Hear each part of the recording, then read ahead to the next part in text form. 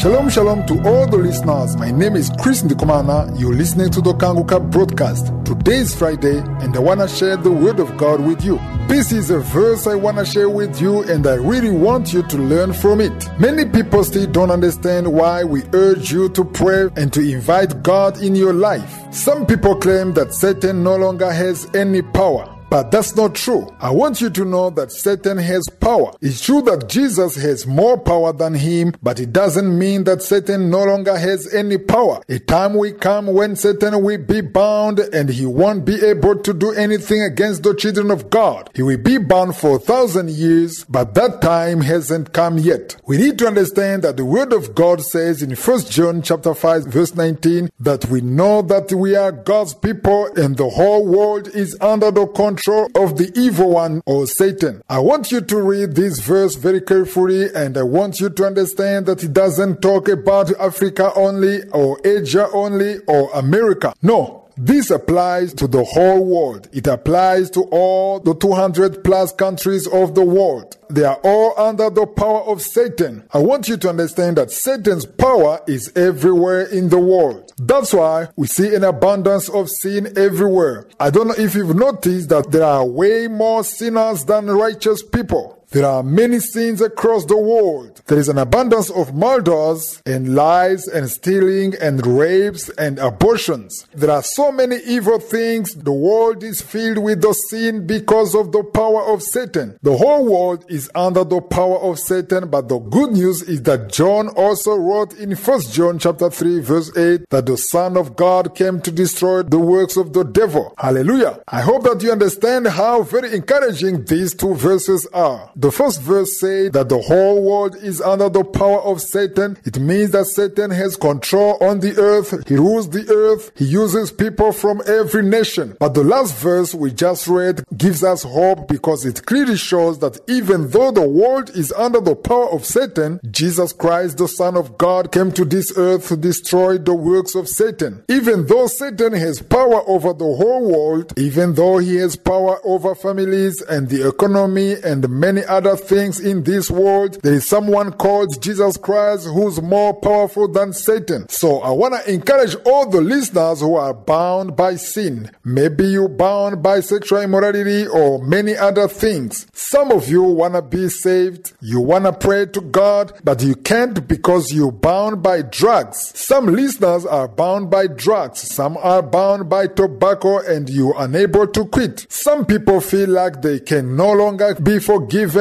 but I want you to know that Satan is lying to you. God can forgive you right now because Jesus came to destroy the works of the enemy. Whether you're bound by alcohol or drugs or lying or jealousy, you need to come to Jesus just as you are. You need to abandon your sinful ways. You need to repent from your sins. You must turn your back on your sins and you must turn to the one who came to destroy the works of Satan. Yes, you may still be bound. Maybe you're bound by pornography pornography or masturbation or hate or jealousy, but you can bring all those things that are binding you before God. Get on your knees and call on Jesus because Jesus came with the power to destroy all the works of Satan. If you call on Him, He will come to you right where you are. He will come into your life and you will be able to receive forgiveness and to start a new life of righteousness. Call on Him and He will come. If you need assistance from a man of God, you can give us a WhatsApp call at plus two five Five six seven eight one three seven seven three three seven.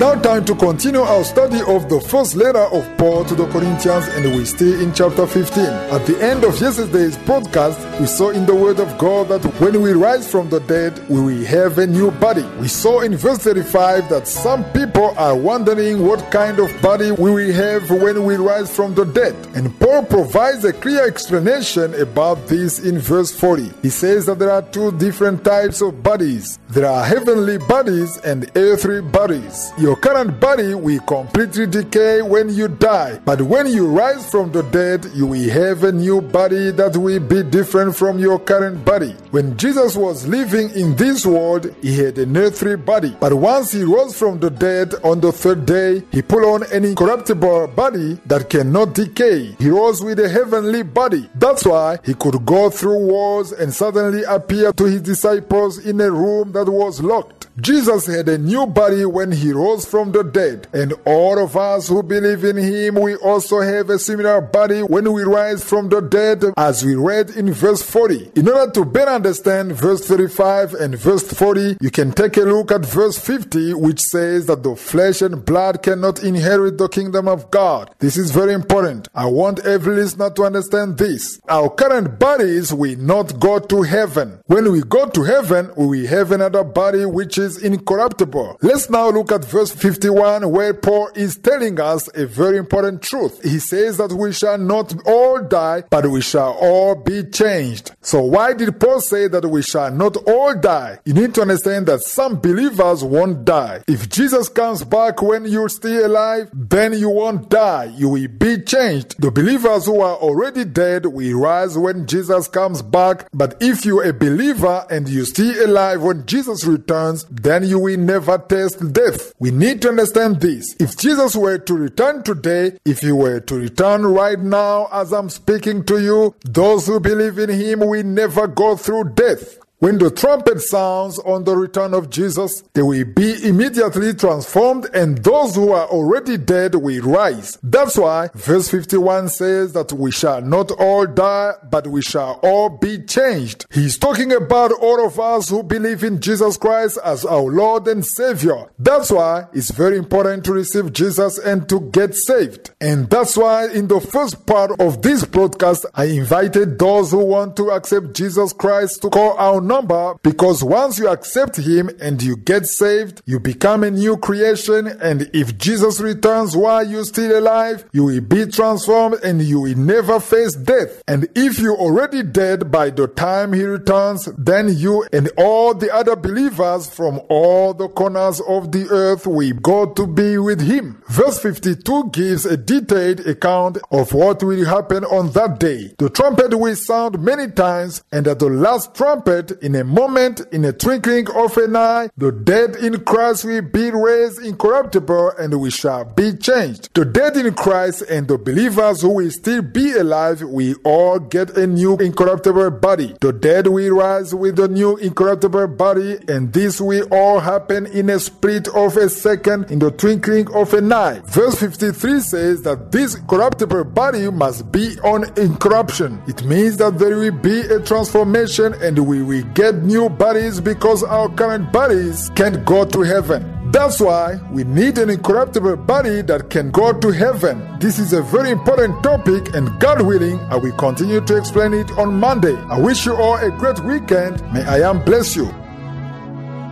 If you want to repent or you transformed by these teachings, you can contact us by sharing your testimony in order to edify other listeners by contacting us on plus 256 781 377 337.